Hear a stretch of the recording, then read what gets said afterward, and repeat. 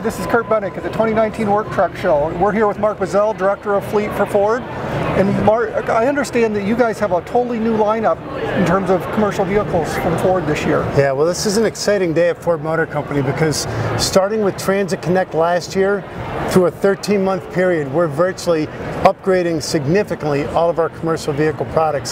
So that's you know everything from super, super duty um, to a new truck that we announced tonight to the Transit vans.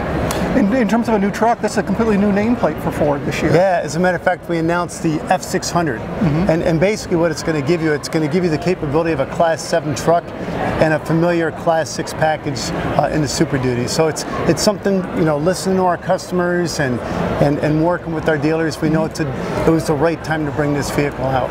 Okay, so it fits really neatly between the F550 and the, the, the larger exactly. F650. Exactly, okay. exactly. So uh, I think it takes the GVW up to about 22,000, which is uh, right in that sweet spot between 19,000 and 22,000.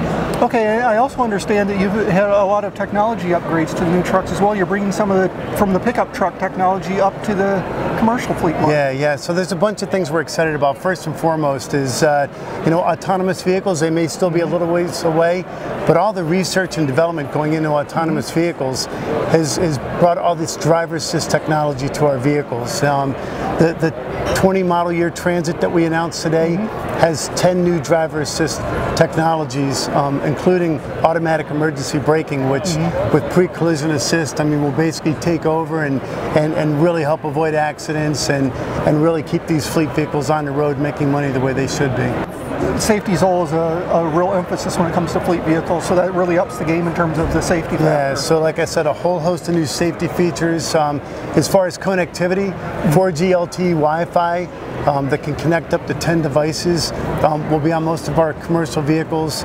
Um, virtually all our all our new commercial vehicles will come with a with a modem mm -hmm. at the factory.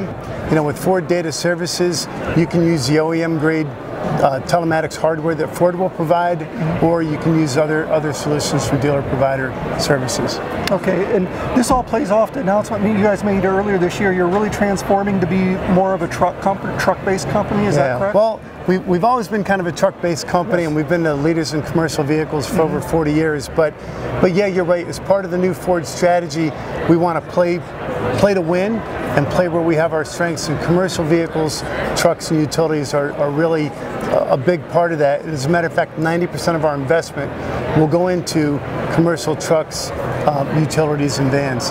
And that makes up about 53% of the industry, but it, it's really where we're, we're, plowing through with our future investment. Perfect. Well, I really appreciate the rundown on the new trucks, okay. Mark. All right, Curt, well, Thank I really you. appreciate you taking time to spend time with Ford.